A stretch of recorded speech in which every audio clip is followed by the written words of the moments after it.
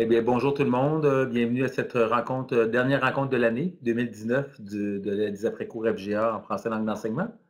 Alors, euh, aujourd'hui, on a une présentation spéciale. Nous aurons la présentation de Liliane Ferland, qui est enseignante et orthopédagogue au Centre d'éducation des adultes de Matane, de la CS des Monts et Marais.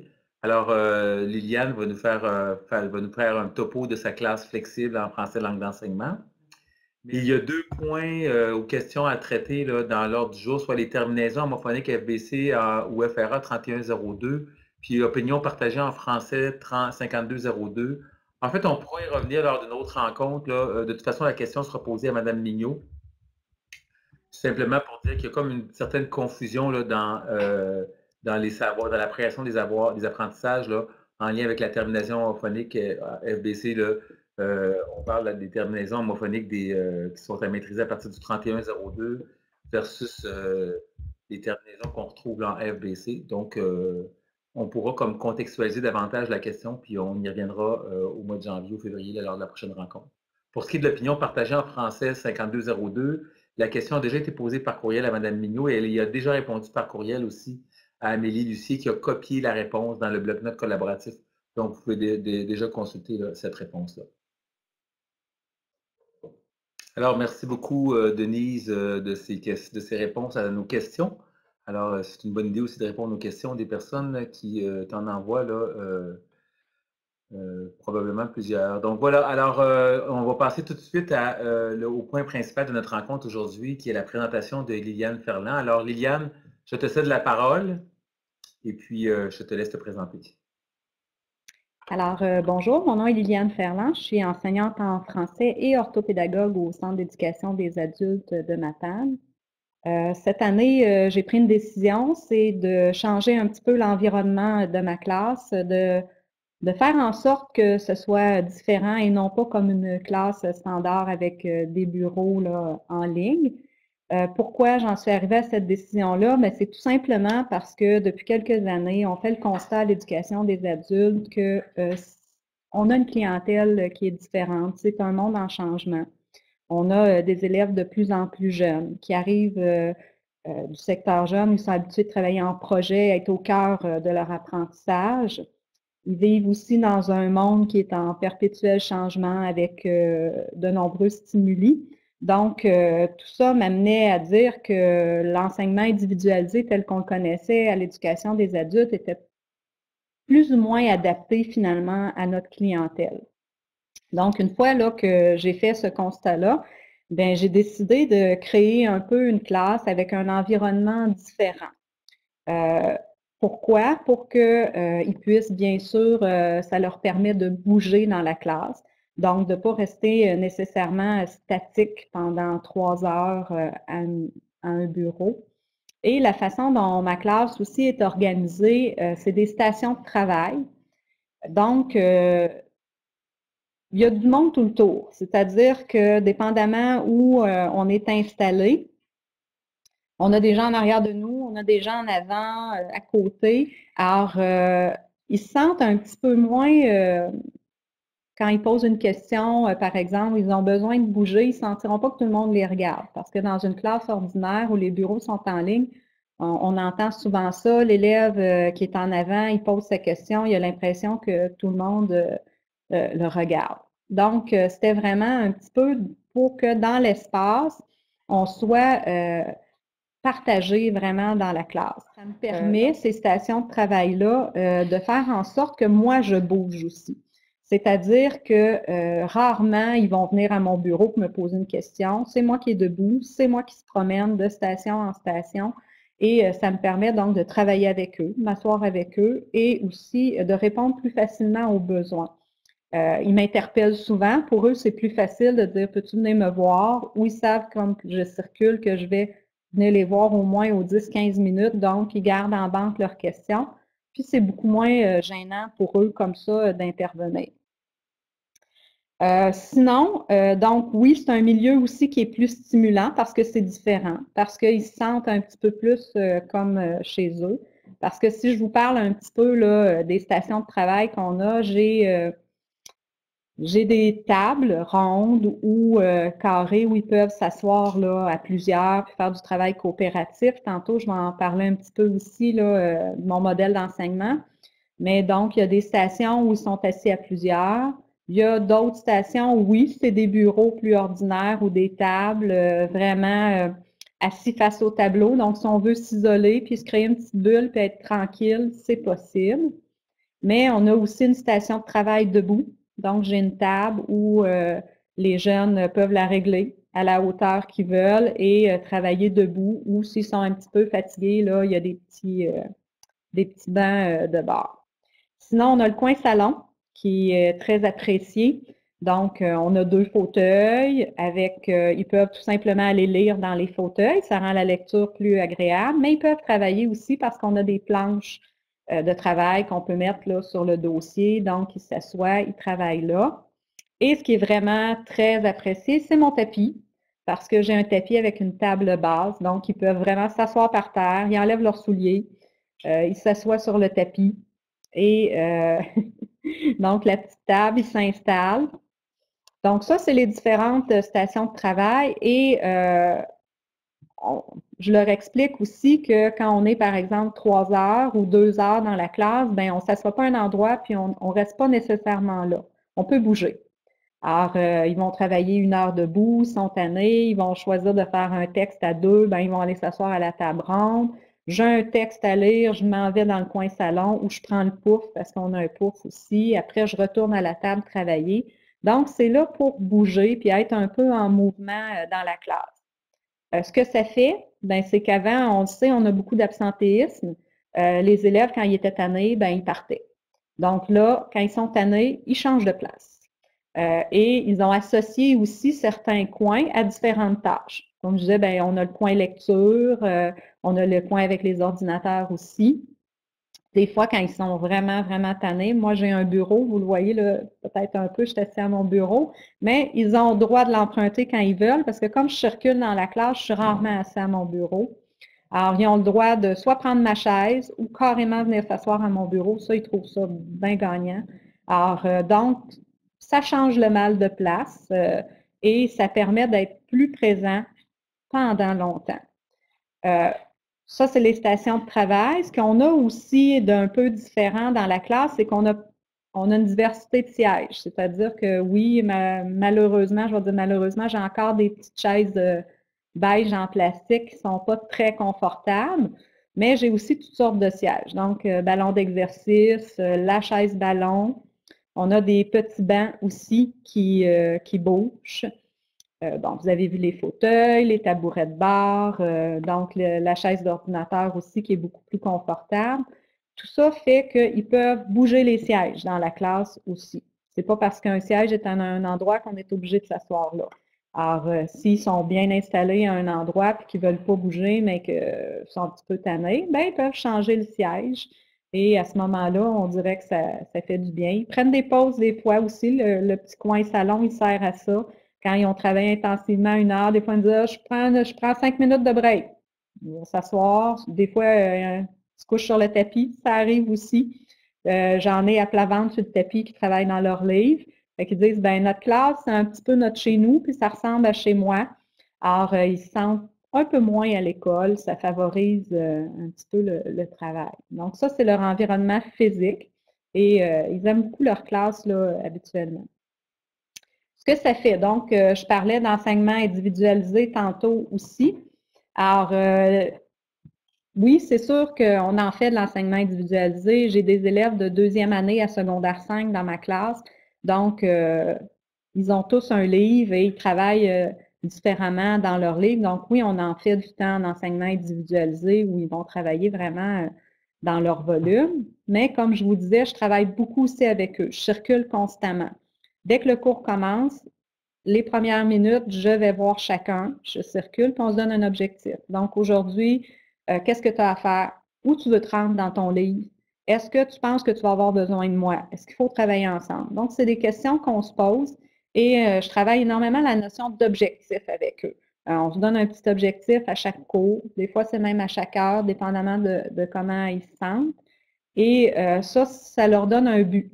Il avance aussi. Donc, oui, on fait de l'enseignement individualisé, mais je vais me permettre vraiment de travailler avec eux, de m'asseoir avec eux, de revoir des notions.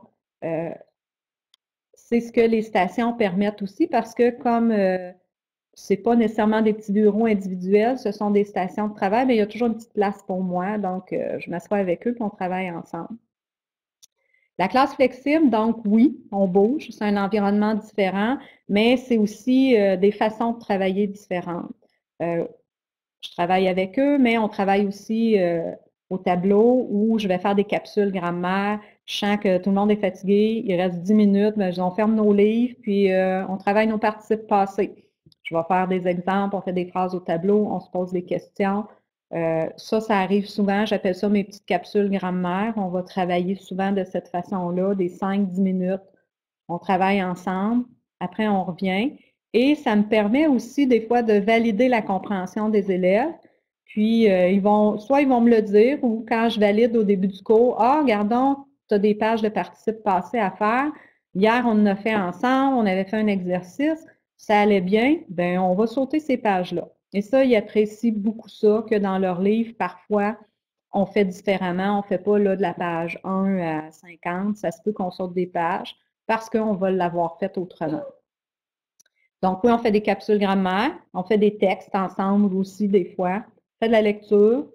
Euh, je vais m'asseoir avec eux autres dans le coin salon, puis on va lire un texte. On va essayer de comprendre tout l'implicite tout ce que ça implique, le vocabulaire. Donc, je travaille différentes choses avec eux au niveau des stratégies de lecture, au niveau de la lecture.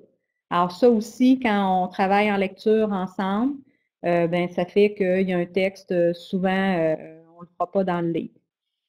C'est sûr que, comme je vous disais, j'ai des élèves de deuxième année à secondaire 5, mais justement, ça fait un bel échange quand on travaille ensemble parce que ceux qui sont plus avancés vont amener euh, des idées, des notions que les autres n'ont euh, pas nécessairement euh, vues au niveau de la lecture, mais ils vont amener une expérience de vie ou d'autres choses qui, qui va amener une notion qu'ils viennent de voir, que celui de secondaire 5, ça fait longtemps qu'il n'a pas vu, ça lui permet de reviser cette notion-là. Donc, c'est vraiment un bel échange là, de travailler tout le monde ensemble. On a aussi les ateliers du vendredi. Alors, euh, le vendredi, c'est vraiment des ateliers de travail. Le vendredi, on ne travaille jamais dans nos livres. C'est toujours des façons différentes. Euh, c'est des exercices que j'amène, dépendamment de la journée. Ça peut être en écriture, en lecture, en grammaire, mais c'est une façon vraiment différente de travailler. Et euh, aussi, on a des petits projets. Alors ça, euh, ça il aime beaucoup ça. Le dernier projet qu'on a fait, parce qu'on a une chanson du vendredi, euh, tous les vendredis matins, on écoute notre chanson qui dit enfin la fin de semaine. Et euh, là, ils voulaient une chanson du lundi. Comme on n'en trouvait pas, ben ils en ont créé une. Alors, sur l'air de coton ouaté, ils m'ont fait Sors du lit, t'es-tu bien dans ton cours de français? Donc, on a des projets comme ça où on travaille à ce moment-là toutes sortes de notions, et autant au niveau de la grammaire, parce qu'on fait des des paroles sans faute qu'au niveau de la rythmique, du vocabulaire, des synonymes. Alors, c'est une classe qui, qui, bouge quand même assez, puis qui permet de varier vraiment euh, nos stratégies d'enseignement. Ce qu'on a peut-être encore de différent, là, parce que cette année, on a vraiment essayé de créer quelque chose avec ce groupe-là. C'est un petit groupe. Là. Habituellement, on a une dizaine d'élèves euh, qui sont davantage en difficulté. C'est pour ça qu'on a un peu ciblé ces élèves-là, parce qu'on se disait, ben, on, c'est des élèves probablement qui sont peu capables de travailler individuellement tout seuls dans un livre à essayer de comprendre des notions avec lesquelles ils ont déjà de la difficulté. Donc, euh, ce sont des élèves qui n'ont que deux enseignants. Euh, donc, ils ont moi en français, puis ils ont un enseignant aussi en mathématiques. Et on travaille, on essaye de faire beaucoup de co-enseignement. Alors, euh, même quand je, par exemple, si j'enseigne en français, l'enseignant de mathématiques va venir faire des tours dans la classe, souvent, il va être capable de répondre à des petites questions ou de permettre de gérer des choses pour me permettre, moi, en français, de pouvoir m'asseoir 10-15 minutes avec un élève puis travailler davantage avec lui. Euh, ça arrive, il y a des périodes aussi on est tous les deux dans la classe. Donc, l'élève, il a le choix à ce moment-là de travailler soit ses mathématiques ou son français. Parce que comme on travaille beaucoup euh, sous forme d'objectifs aussi, ça arrive des fois, comme le Noël s'en vient, euh, il y en a qui ont euh, qui veulent réaliser des examens avant les fêtes en mathématiques, par exemple, ben, on va donner un petit peu plus de temps en mathématiques. Donc, même si c'est en français, ben, tu vas travailler en mathématiques. Et euh, ça leur permet aussi, des fois, il y a des matières, une matière dans laquelle ils sont, y a un peu moins, ils sont moins à l'aise. Donc, au lieu de faire trois heures, par exemple, en français, s'ils aiment beaucoup faire des mathématiques, ben, euh, je vais leur demander, OK, euh, on, se rend quand même on fait quand même trois pages de français, mais après, tu pourras me faire euh, une heure de maths. Ça ne me dérange pas. Donc, ça leur donne aussi des petits défis, puis des moments agréables où ils, peuvent un peu plus travailler leur matière. Comme leurs deux enseignants sont souvent là, ben, ça permet aussi de répondre aux questions. Ou, comme je vous disais, de pouvoir passer davantage de temps avec un élève sans que les autres en soient pénalisés parce qu'ils ont une question ou ils ne peuvent pas nécessairement avancer, ben, l'autre enseignant il est là et il peut à ce moment-là répondre aux questions et puis gérer certaines difficultés. Donc, c'est un petit peu euh, le fonctionnement euh, de notre classe. Euh, ce que je vous dirais, les résultats qu'on voit cette année, parce que c'est sûr que c'est un essai, les résultats sont positifs. c'est sûr qu'au niveau de l'environnement, pour les élèves, c'est leur classe et ils l'aiment, leur classe. Euh, ils s'y sentent bien, c'est ce qu'ils nous disent. Euh, ils disent, ah, ici, on se sent chez nous, puis euh, c'est bien. On a vu aussi des résultats au niveau de l'absentéisme. je ne vous dis pas que nos élèves ne s'absentent plus, là.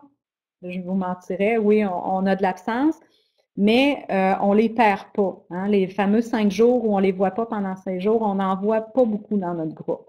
Et ils vont venir, ce qu'on travaille avec eux, en tout cas, parce que oui, on a des l'absentéisme chronique, ils sont obligés de venir à tous les jours. Donc, par exemple, j'ai un élève là où euh, euh, on a fait un, deal, puis euh, il doit venir une heure par jour minimum.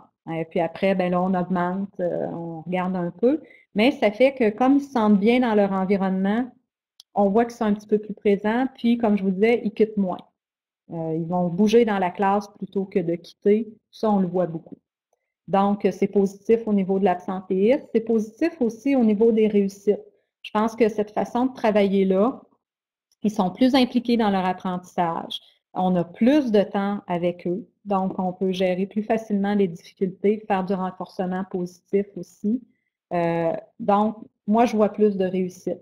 Euh, et là, on a le tableau des réussites. Euh, ils s'encouragent aussi beaucoup entre eux. On a des élèves là, qui euh, sont à deux réussites, deux examens depuis le début de l'année. Donc là, tous les mois, ils veulent en faire un avant Noël. je pense que c'est vraiment gagnant de travailler de cette façon-là. Puis aussi dans un environnement qui est plus agréable. C'est un environnement qui est plus agréable pour moi, en tant qu'enseignante. donc, c'est un environnement aussi pour les élèves qui est beaucoup plus agréable, qui est moins statique, moins rigide. Donc, euh, ça leur permet un peu plus euh, d'être bien dans la classe. Merci beaucoup, Liliane, de cette euh, présentation fort intéressante. C'était vraiment une belle classe. Bravo pour ce beau projet. Alors, si vous avez des questions, nous pouvons les prendre. Oui, on a une question de Daniel. Oui, moi j'en ai une. Dis-moi, Liliane, est-ce que vous avez des élèves qui sont réfractaires à, à ce changement? Ou est-ce que ce sont que ceux qui ont envie de ce changement qui se présentent dans vos classes? Et je pose la question parce que j'ai vu dans d'autres milieux où on a tenté l'aménagement flexible, beaucoup de réactions, euh, de freins posés par les élèves qui ne voulaient pas s'engager dans quelque chose de différent avec des discours de type, ben moi, madame, euh, je veux finir mon cahier, là, je suis pressée. Bon, euh, c'est sûr que nous, cette année, on a essayé quelque chose, on a créé comme trois groupes à l'école. On les appelle le groupe 1, 2, 3. le groupe 1, ben, c'est le groupe qui est dans la classe flexible. C'est sûr que c'est des élèves qu'on a ciblés au départ, soit parce qu'ils avaient de grandes difficultés ou euh, des problèmes d'absentéisme aussi. Il y avait on se disait que c'était des élèves moins autonomes euh, qui allaient être dans le groupe 1 et qui avaient besoin de davantage d'aide. Dans le groupe 3, c'est un petit peu le contraire. C'est nos élèves autonomes, c'est l'élève qui vient juste finir un cours de chimie, euh, qui lui reste du français secondaire 5. Puis on a le groupe 2 qui est un petit peu entre les deux. Donc des élèves euh, qui ont, oui, la difficulté, mais quand même une autonomie. Donc quand ils s'inscrivent, on est un petit groupe euh, d'intervenants qui, qui s'assoient, qui regardent les élèves parce que souvent on les connaît. Ou si on ne les connaît pas parce que c'est des nouveaux élèves, on va regarder un petit peu leur passé scolaire. puis on essaie de les classer. Donc, groupe 1, 2, 3. Alors, c'est arrivé, oui, qu'on a classé, par exemple, des élèves dans le groupe 1 et euh, qui nous ont dit, écoute, je me sens pas bien, moi, là-dedans. Euh, je veux vraiment travailler dans mon livre, je veux pas être dérangé euh, par l'enseignant, je, suis capable de gérer mes choses. Donc, on est très ouvert à ce moment-là. Moi, je pense que ce qui est intéressant dans notre école, c'est que justement, on a des modèles différents de classes. Alors, euh, l'élève qui ne se sent pas bien dans une classe où il y a des capsules, où on travaille comme ça, qui se sent déstabilisé, euh, ben, on, change de groupe, puis on l'envoie euh, dans le groupe 2 ou dans le groupe 3, là, dépendamment. Mais il n'y a pas eu de, je ne peux pas dire qu'il y a eu de réaction vraiment négative. C'est arrivé un ou deux élèves, puis on a été très ouverts. C'est sûr que c'est un type d'enseignement qui n'est euh, pas habituel à l'éducation des adultes parce qu'il y a certains jeunes qui s'en viennent ici en se disant Moi, je veux être tout seul dans mon livre et avancer à mon rythme. Tandis que moi, dans ma classe, ben, je les dirige beaucoup plus. Alors oui, on est ouvert à ça, puis euh, ça change, mais euh, il n'y a pas non de, tant de choses réfractaires, même que les autres élèves dans les autres groupes sont un petit peu jaloux de notre classe. Alors là, tranquillement, ça contamine. Il y a des enseignants là, qui, euh, qui ont demandé euh, soit des ballons d'exercice ou une table debout. Ce ne sera peut-être pas aussi éclaté que ma classe, mais il va y avoir des stations différentes et des choses différentes pour les élèves qui ont envie de ça aussi. Excellent. Merci beaucoup, Liliane. Alors, Stéphane Saint-Pierre qui dit J'imagine qu'il faut limiter le nombre d'élèves pour qu'une classe flexible soit efficace. Ben, moi, oui, excusez, j'ai 16 places maximum dans ma classe. Donc, euh, c'est sûr qu'à 16, euh, il y a beaucoup de monde. Ça bouge, mais la façon dont elle est installée, comme je disais, il y a des coins euh, plus tranquilles parce que ça arrive, on est une petite école, donc ça va arriver, je suis la seule enseignante en français, donc les élèves qui, qui n'ont que du français à l'horaire, ils viennent dans ma classe, même s'ils ne font pas partie de mon groupe. Ben, il y a dans ma classe des endroits qui sont plus standards, si on peut dire. Donc, des tables, comme je disais, des coins où on peut être un peu plus isolé, un élève qui veut se créer une bulle. Donc, euh, oui, j'en ai déjà eu 16, euh, 17, mais ça gère très bien. C'est sûr que des fois, à ce moment-là, ben, je fais peut-être moins d'activités dirigées.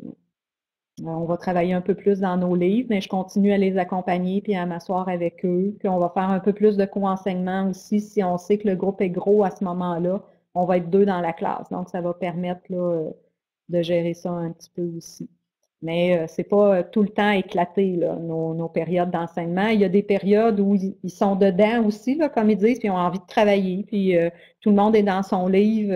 on peut passer une heure comme ça qu'il y ait un bruit, puis que personne bouge, tout le monde est assis à sa place. À sa place. Je pense que le, ce qui est intéressant de cette formule-là, c'est la diversité. Donc, on l'exploite aussi en ayant des temps d'enseignement individualisé, puis en ayant des temps aussi où on, on travaille autrement, puis les stratégies d'enseignement sont différentes.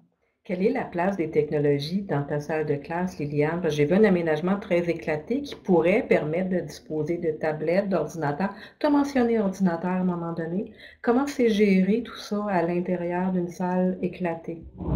Donc oui, j'ai deux postes de travail avec euh, des ordinateurs fixes. On a une tablette aussi dans la classe. J'aimerais ça avoir un TBI, j'ai malheureusement pas ça. Donc, je suis revenue au tableau et à la craie. Des fois, euh, je me promène, j'ai quatre tableaux dans ma classe, puis on les utilise amplement, là, mais euh, oui, ils sont habitués. Euh, il y a des portables aussi qui sont accessibles. J'en ai pas nécessairement dans la classe, mais on peut en emprunter tout le temps. Là, nous, c'est notre façon de faire un peu au secrétariat. Donc, oui, il y a des stations de travail, puis on bouge. Donc, c'est pas tout le temps, tout, les mêmes personnes qui sont assises aux ordinateurs. La tablette dépanne beaucoup aussi quand ils ont des recherches, des choses à faire, ils empruntent la tablette. Donc, euh, ça, oui, on essaie euh, de fonctionner. Puis, comme je vous disais, ben, j'ai hâte d'avoir un, TBI pour euh, faire plein de belles activités avec eux. Là. On, souhaite, il manque juste ça dans notre classe pour qu'elle soit un peu plus efficace et la fine pointe. Si on regarde, Liliane, en matière de, bon, on voit que c'est assez limité, vous n'avez pas beaucoup d'outils disponibles en tout temps. Est-ce que dans ce contexte-là, les élèves ou certains d'entre eux sont quand même invités ou souhaitent euh, faire de, l'écriture directement à l'ordinateur ou est-ce qu'on est encore beaucoup papier-crayon?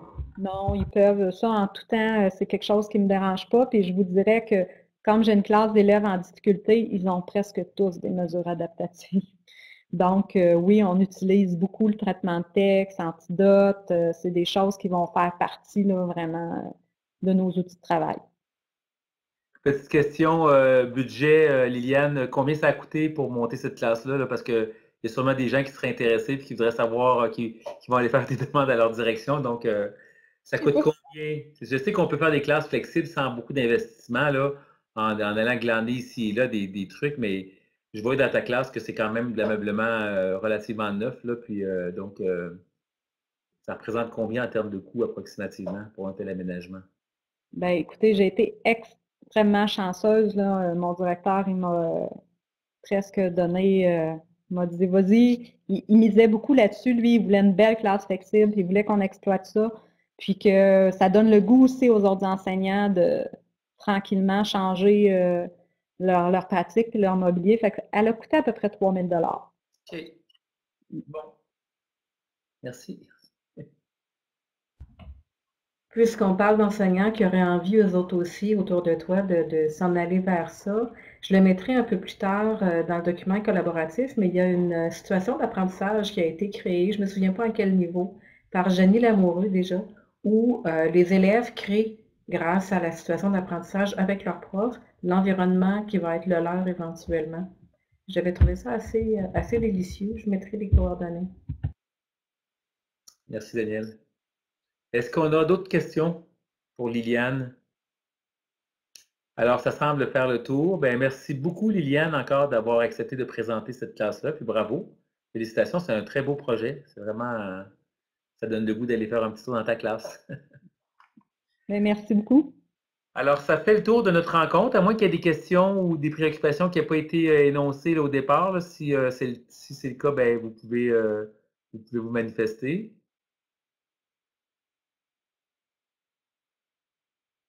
Ça ne semble pas être le cas. Alors, ben, merci de votre participation à tous.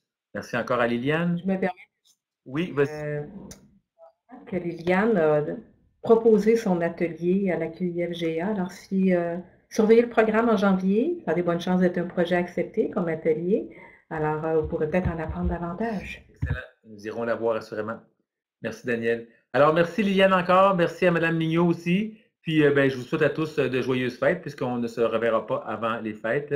Alors, euh, on se revoit, je pense que c'est au début février, la prochaine rencontre. Alors, ben, merci de votre participation. Bonne fin de journée.